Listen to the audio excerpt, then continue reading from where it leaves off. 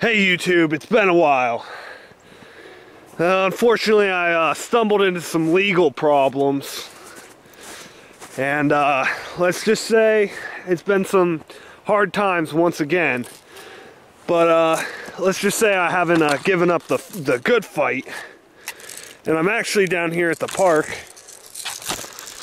I have to finish up by 7 or that's when I have curfew now. And uh, I'm down here practicing, uh, you know, firearm tactics.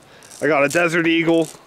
As you can see, it's an airsoft gun because unfortunately, I can't own a firearm until I sort some stuff out. And here is my uh, combatant. Thinking this is an Osama bin Laden. That's right. Still a good shot. The court system and Obama can't take that away from me. But my favorite thing to do with the Deagle is to get in close. Pretend this was uh, Osama bin Laden. What are you doing here, terrorist? Deagle. Very strong weapon. A lot of power behind it. That's what I do. Chris Kyle style.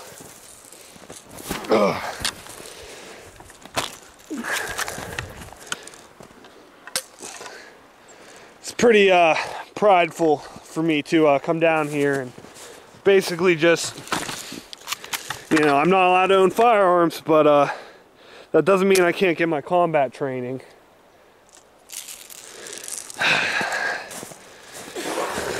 What the hell was that? Oh shit, you gotta be kidding me. Whoa. What was that? Could it be? A mermaid?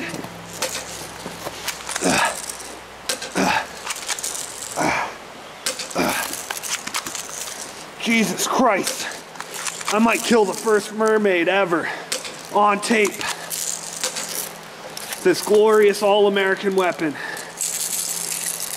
The Desert Eagle. You mermaid fuck. That was clearly a mermaid hiss. I know that for a fact. Did I get it? Might have escaped. All this combat training, Semper Fidelis. And yet, like Chris Kyle, well, I should say more like Chris Kyle's friend, who blasted him away. I missed the shot that really counts. I was finally about to uh, secure my place in military history on my return to civ life.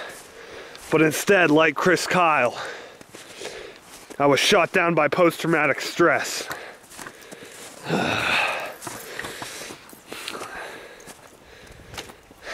to think I could have killed a real mermaid on tape. If I still allowed to own a firearm,